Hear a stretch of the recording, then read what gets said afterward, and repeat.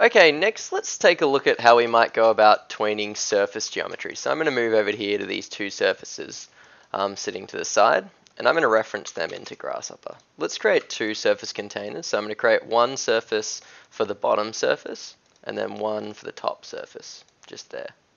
Cool. And if we come up here to our um, surface tab in Pufferfish, um, we've got some very similar uh, components to what we saw in the curve geometry. We're just going to have a look at the tween two surfaces one um, for this one because you kind of get a feel for the different types of tweening just from the curves one. So I'm going to click on tween two surfaces and drop that onto the canvas.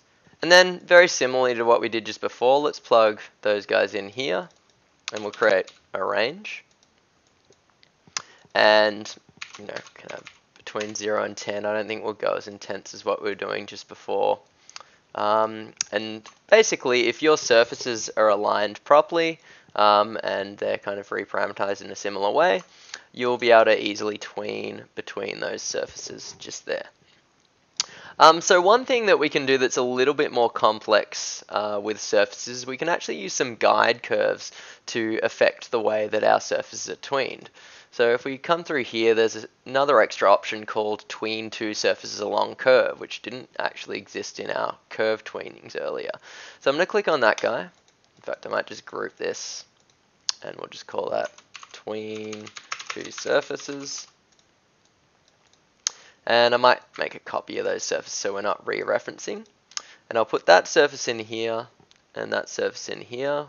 Might copy that range as well drop that into factor. And basically what we could go and do is we can draw a couple of lines that will serve as guide curves. So I'm going to go and draw a line from this guy to this edge here, and then another one from here to here. And I might rebuild them as well actually. Let's rebuild them so they have uh, five point counts, just like that. And then I'm going to reference these curves in. So I'll go curve, and I'll go set one curve, make a copy of that and set the other curve. So we've got both of those curves referenced in. I'll make that guide 1 and that one guide 2.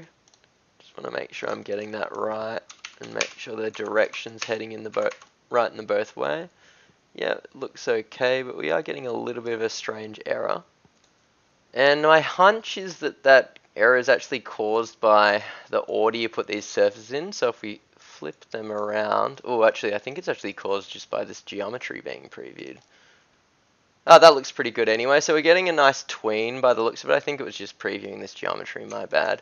Um, but now if we go and manipulate these curves, you'll see we're able to kind of affect how that tween is happening in kind of a more interesting way. So it can bulge out based on the way our curve's working or it can kind of be pushed inwards a little bit. So you get a little bit more control over the manipulation of how that tween's working so it's not so linear with the surfaces. So that's kind of a basic intro to, you know, surfaces as well. It's very similar to the curves we had at the start. I'm just going to group that guy and I will just call it tween surfaces along curves. And the next thing we could start to look at is um, I might preview this off as well, is how we might go and um, deal with some mesh tools in Pufferfish. I'm just going to hide that geometry because we might come back to the origin here.